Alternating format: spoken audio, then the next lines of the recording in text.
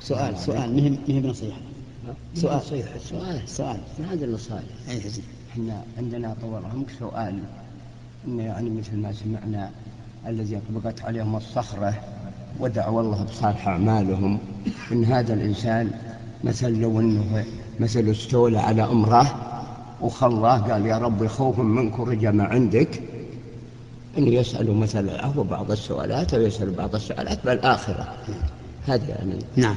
يعني يسأل يسأل أبو علي عن التوسل بصالح الأعمال. إيه هل هو. هذا جائز. التوسل بصالح الأعمال جائز. مثلا يكون عمل صالح فعله الإنسان يقول اللهم إني فعلت كذا صليت تصدقت تعففت عن الزنا بريت والدي. نعم. اللهم إن كنت فعلت ذلك من أجلك ففرج كربتي. أو فشف, فشف مرضي هذا جائز لا بأس به وهو من الأمور المشروعة حتى في ترك المعاصي لأن الرجل الذي توسل إلى الله الثلاثة الذين انطبق عليهم الغار أحدهم ترك المحرم كان له بنت عم وكان يحبها حبا شديدا وقد راودها عن نفسها فأبت فألمت بها سنة من السنين واحتاجت. وجاءت إليه ومكنته من نفسها. فلما جلس منها مجلس الرجل من امرأته قالت يا عبد الله اتق الله ولا تفض الخاتم إلا بحقه.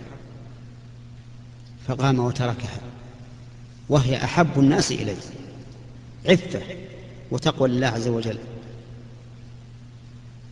تركها فجعل فتوسل إلى الله بهذا الترك بهذا الترك المحرم.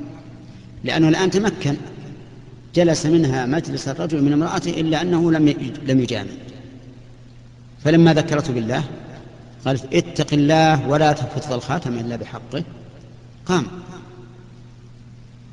لله. لا يخاف إلا الله عز وجل. فكان هذا سببا في تفريج كربته.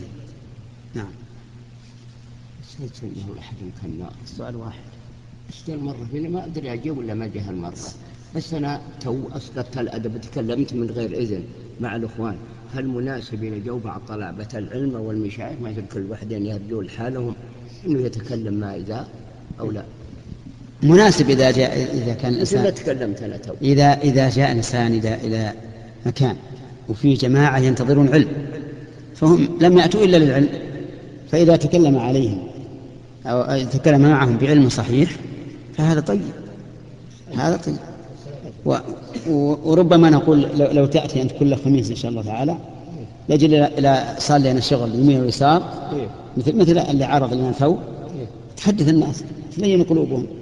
واضحين ذا وشفنا هذا التقبل بس حنا الحمد لا لا الحمد لله. طيب.